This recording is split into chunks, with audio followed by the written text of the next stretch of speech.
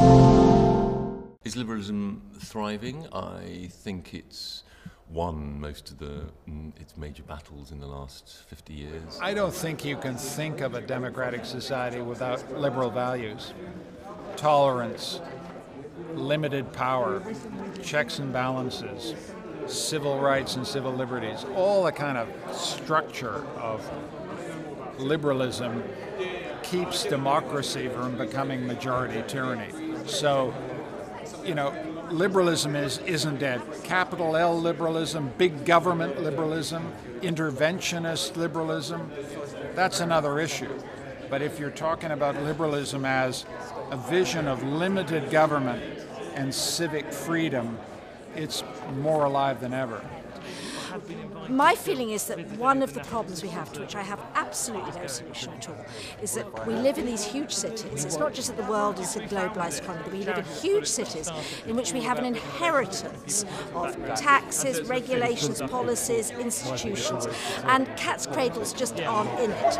So my own feeling is that the problem is, is not is liberalism dead, is liberalism due for a revival. I actually think the basic principles of, I'm going to say Gladstonian liberalism, are actually just as alive and just as relevant as they ever were.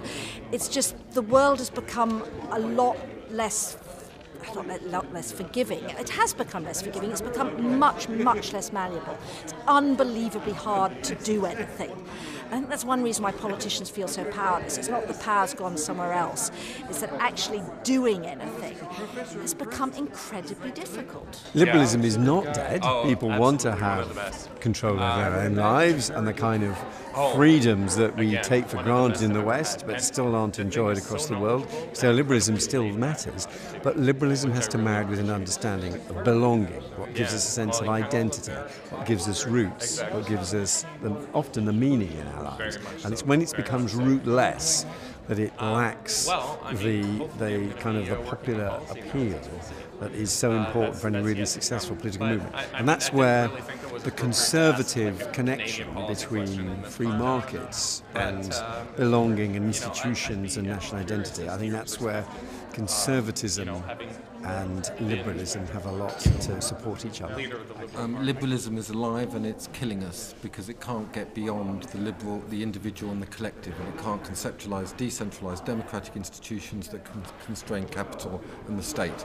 Now, the economists has always, always, always um, plugged liberalism into the life support machine. So to claim that it's come back to life is one of the most grotesque statements that they've ever made because as far as they're concerned, it's never been dead and completely dominates their analysis.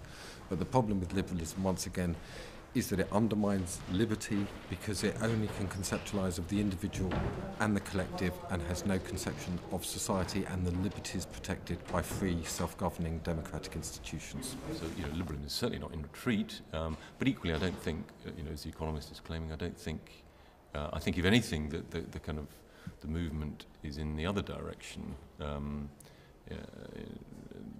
there isn't, a, not, there's not a, a, new age of liberalism. You know, we have been in the liberal age, and we're sort of adjusting as we experience the, the, the, the negative outcomes. We're, we're adjusting within a still broadly liberal frame.